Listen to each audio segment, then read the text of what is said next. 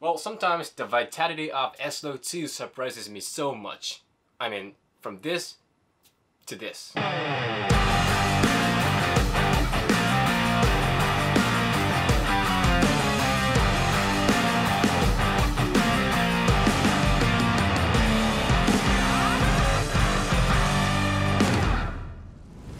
Hello people, welcome back to another new episode of The Scenes and thank you for tuning in again. So I posted a new short film Osmosis this month and this scene, this dark mood shot is very iconic and it represents the color of whole film. This film was shot on only Sony a7 III and Sony 24-100 5mm f4 G lens. So if you're interested in the review of this lens, here's a video for you. So I made a short film and also review we know we have to do. Of course, color grading video and DaVinci Resolve. So today, I'll show you guys how to do cinematic dark mood color grading in DaVinci. So pass the microphone to the guy who does the color, and as always, let's breathe a new life into the footage.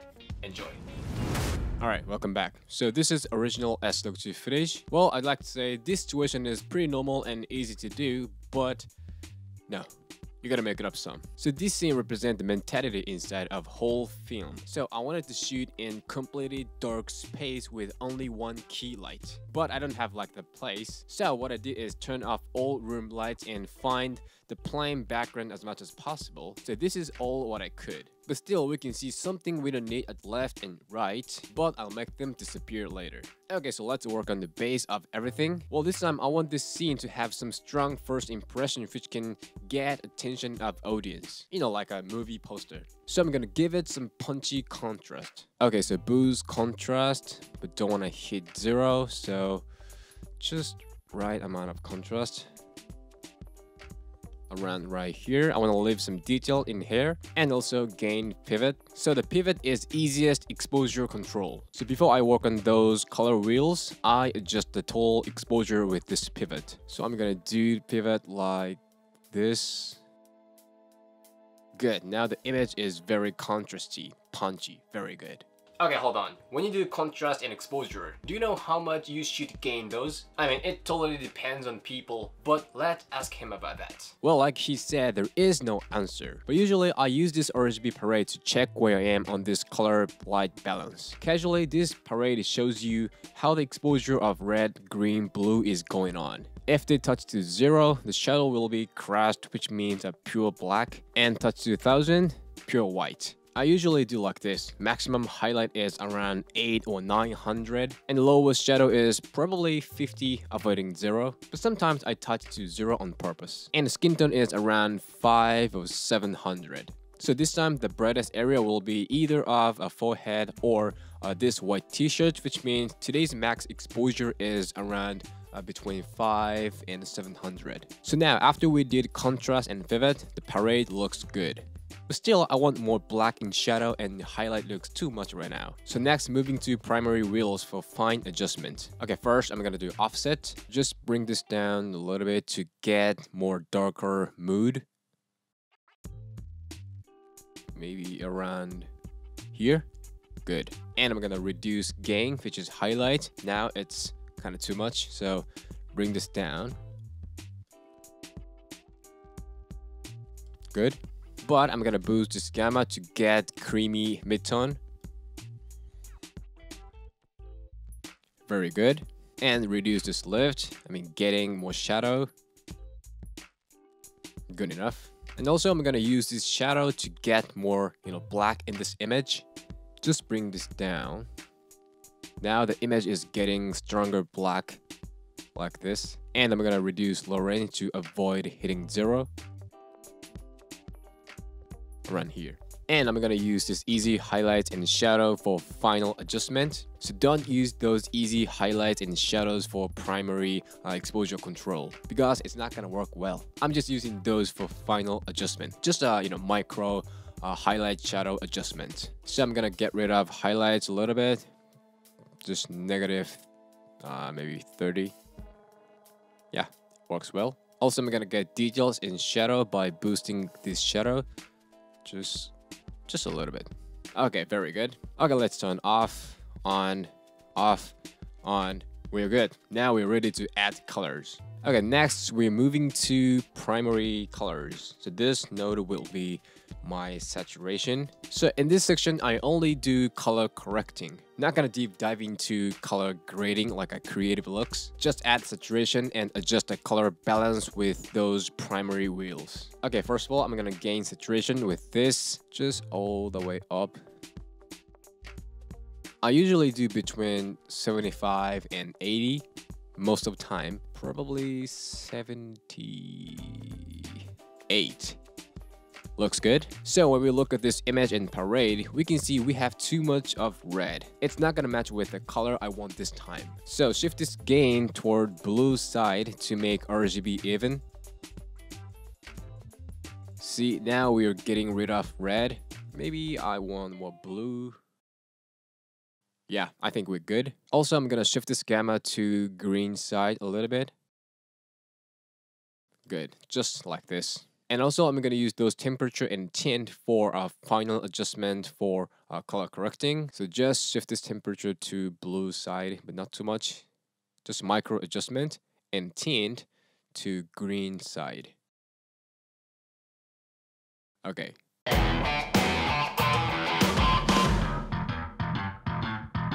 Okay, now we have a base color. So next, I'm gonna create a dark mood color by using log wheels. Okay, I'm gonna start off with shadow. I want cold and dark mood. So reducing red and getting green blue power. So I'm gonna shift this to green blue. Just all the way down. It's making the mood. But instead of it, I need a little bit more orange red for skin. So shift this midtone to opposite side of shadow. So all the way up just getting some red and magenta for skin. I think it's good. Okay, now I want maintain cold blue feel on this white t-shirt. So I'm gonna reduce this green and red. Just getting more blues, just like this. Okay, I'm gonna stop right here.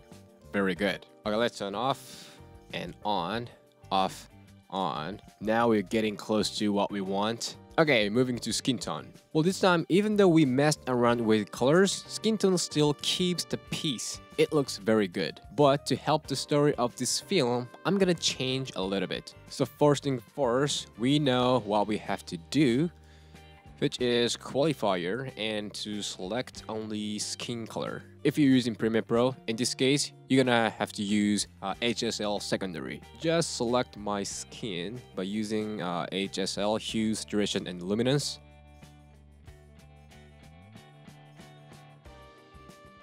And once you select the skin, blend those together.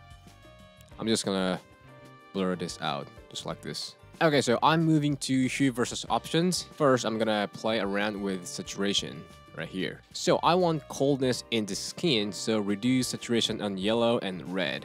Just make a point like this, and I'm gonna reduce those, but just a little bit. Okay, I'm gonna turn off this. Good. And moving to luminance, I'm going to lower red like this and boost yellow to make uh, color step on the skin. Good. And hue. Again, make points like this. I think I need a little bit magenta, so I'm gonna boost this up just tiny a little bit. Okay, just like this. Okay, so let's zoom in and I'm gonna turn off and on. Okay, turn off, on, off, on, off, on. Well, it's a very small difference, but now the image has more cooler feel.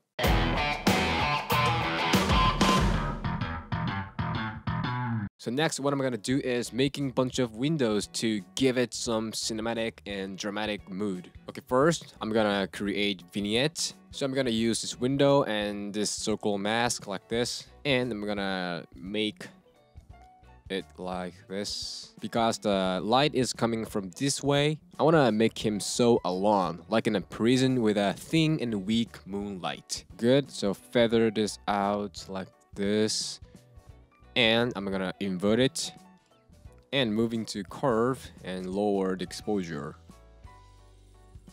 Just like this Good. So next I'm gonna make some magic windows to make those things I don't need disappear into the darkness. It's so easy. So I'm gonna use pen tool to make a box like this. just like this and cover where I don't need and feather this out both of inside and outside and going to exposure and I'm gonna lower this all the way down just like this until we don't see okay it's gone. It's completely gone.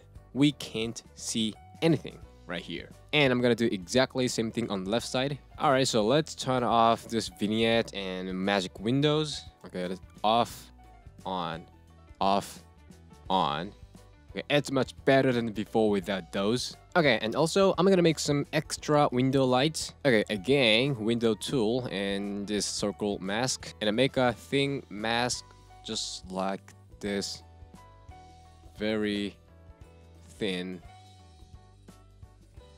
Okay, I'm gonna put this on this left side of the head. And moving to curve and I'm gonna gain some extra exposure just like this okay and I'm gonna lower the midtone detail to make it more creamier pretty good and I'm gonna make exactly same thing one more time on the right shoulder okay, very good okay let's turn off those two off, on, off, on. Now it's like a, this guy is chained in a very dark, uh, isolated room. This scene is expressing the isolation.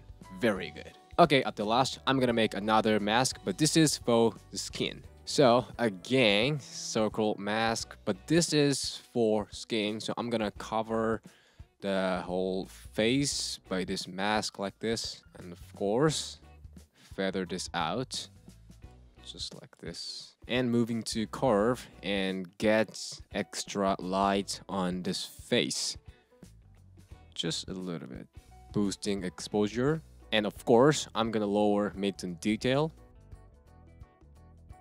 like this. Okay let's turn off on off on. Now the face pops out nicely. And done. All done. Okay, now let me take you to the journey of all processes we did this time. Enjoy.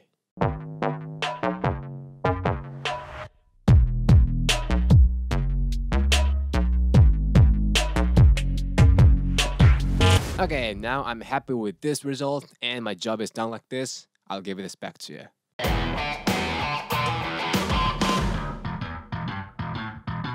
Okay, welcome back. I hope it helped you in some ways. So that scene was shot on f4 lens, but with a proper lighting and color grading, the image came back alive from just a flat S-Log2 footage. Before, it was just a dark room, but after, it has certain feel which is helping the story a lot.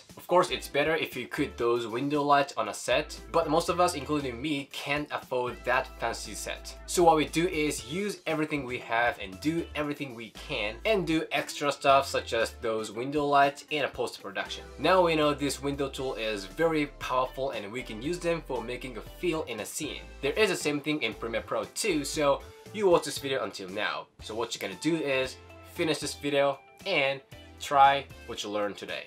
Okay, this is it. If you have any question about this video, don't hesitate to leave a comment below. And if you have any requests for next scenes, also leave the comment below. So today's very much it and thank you for watching this video. If you like this scene, show me a thumb and uh, hit the subscribe and I'll see you in the next episode.